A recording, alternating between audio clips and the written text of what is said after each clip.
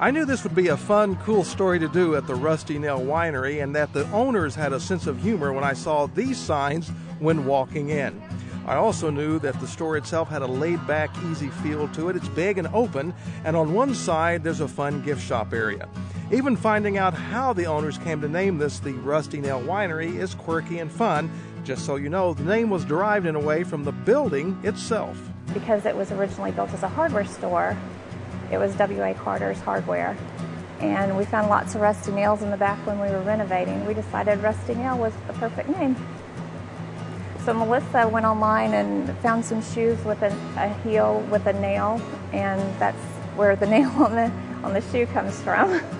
Open since September of 2010, the owners Debbie Alexander and her two daughters, Leah Lucio and Melissa Alexander Lee, put a lot of hard work into making this a comfortable place to browse, drink some wine, shop, and enjoy the company of friends. Well, we've really done pretty well since we opened. Um, we weren't sure if the town was ready for a winery yet, and we've had lots of people come in and say, We don't drink wine. And we said, well, give us a chance. We'll find something that you'll like. And nine times out of ten, we do.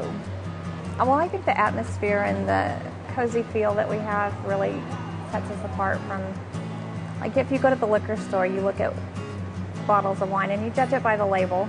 Here you get to taste it and try it, and, and it's in an atmosphere that's um, warm and inviting and, and really out of the norm from what you would expect to see in Sulphur, Oklahoma. All right, now we're at a winery, so let's talk about their wine. They have many from which to choose, of course, but one stands out as their most popular, and it's their peach. It started out as a summer wine, but Debbie says people won't let her just make it in the summer. The vintage or little black pump is also a favorite among customers. Rusty Nail Winery is a family business, but Debbie is the person who makes the wine, no one else. She doesn't let anybody touch the wine. She's She's no, I, I, I, do the wines, uh, and that way I know if I've messed up something. No one touches the wine except for me. Uh, I, I do all the mixing, and I tell them when they're ready, and then they come in and uh, sterilize the bottles and bottle them and label them, and then we put them out on the shelves.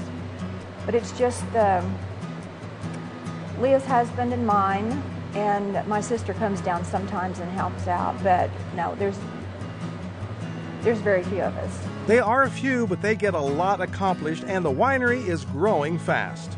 We have a lot of locals that support us, a lot of regulars that come in a lot of people from Texas. A lot of yeah, Texas, Dallas, and most of them bring other friends in with them. And then we have a lot of people from Edmond and Oklahoma City that come in and they hear about us through other people. So word of mouth has really helped a lot.